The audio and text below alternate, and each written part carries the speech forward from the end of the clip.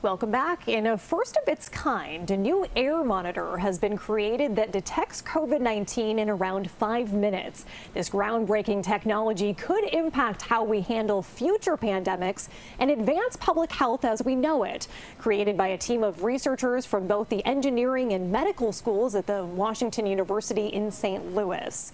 So joining us now is one of those researchers, Joseph Puthussery, a postdoctoral research associate at Washington University University in St. Louis. We also heard that you're a University of Illinois alum. So good morning to you, Joseph. Thank you so much for joining us and explain to us how you see this technology being used. Okay, uh, first of all, thank you for having me. So uh, this technology which we built, it's very, very similar to something like a smoke detector, which you have in your buildings. But this device, it detects the viruses and it can do that in like less than five minutes. So you can install this in airports, hospitals, uh, office spaces, or basically any crowded indoor location where you expect high risk of virus transmission. Incredible. So, how can this help individuals make their own decisions and navigate risk, especially for people who are immunocompromised? Oh, excellent question. So, this this device will uh, help the immunocompromised section of the population and also any people, any group who are at high risk of getting this disease. For example, uh, let's say you have these this uh, device installed at different locations. You can, and if you get this data, you can, you know, plan your travel. If there is a high risk of virus uh, transmission in the, in that location, you can avoid those areas. Or uh, alternatively, if there is if this uh, device is detecting frequent virus in a certain location, you can ask the occupants there to wear masks. And most importantly, this gives you like a, a peace of mind. Like, for example, if you're someone who gets stressed about going to a public location because of getting infected, then if you have this uh, device, you can be assured that this location is safe and peace of mind, man, that is worth its weight in gold for sure. So right now, this is for COVID-19 specifically, but the plan, of course, is also to detect other viruses. So how exactly does this capture something so small like a virus that is just in the air?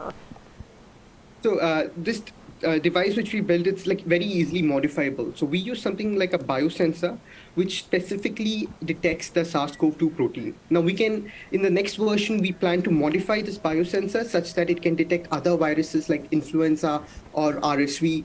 And to capture these viruses, so these viruses are like really small, 60 nanometer to let's say 180 nanometer in diameter. So we use something called cyclone technology. So how this works is the device is like an inverted cone uh, device, and the air enters tangentially at really high velocities. And because of the geometry and the suction, the air and particles they start swirling inside the device and spiraling down. Now, the centrifugal forces acting inside separate these particles. Now, what we do is we have a liquid filled inside this cyclone. So when these particles start swirling around, it gets trapped in this liquid and we do this for like five minutes to get a really concentrated virus liquid mixture, which is then sent to the biosensor using some automated pumps uh, which, uh, by which we detect the virus. Wow, Joseph, that is fascinating, especially with the visual element, just to see how quickly that the virus in the air is just sucked into it so interesting. Uh, we know that the past three years, of course, have proven change is very difficult for a lot of people. So how would you pitch to businesses the importance of investing in technology like this? So, you know, uh, what this pandemic has taught us is that the world in general was unprepared in handling infectious viruses. For example, a single virus like SARS-CoV-2 forced countries worldwide to go in lockdown mode. So at that time, if we had a technology like this, we could have uh, you know it could have uh, used as an early warning system or uh, you know when you if you invest in technologies like this we can be pre- better prepared for future pandemic. And uh, this will also help in uh, minimizing disruption to businesses and also help keep the community safe by preventing community spreads and better disease management in general. Sounds like an easy pitch to me. So looking ahead what can you imagine the future of this technology to be?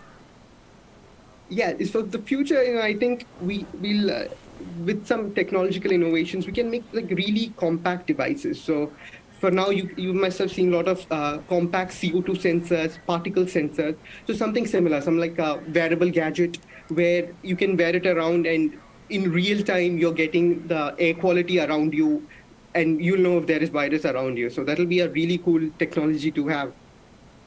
Joseph, thank you so much for your time this morning. One last quick question. How does it feel to be able to develop something that you understand could be so um, helpful in the public health space? It's it's like you know, as a scientist, I'm really happy this will be beneficial to the people, and uh, it's kind of really rewarding, Yeah. and uh, and you, got- like you get to be a part of this incredible team too, like work. This uh, COVID is like highly interdisciplinary, so you need a lot of medical expertise, uh, engineering, and we combine together, and then finally, this is something which is applicable to the public in general. So, this is like a a amazing project to be a part of. Very ap- applicable for sure. Joseph, thank you so much for your time this morning. That was Joseph Puthussery, a postdoctoral research associate at Washington University in St. Louis. Thank you. Thank you.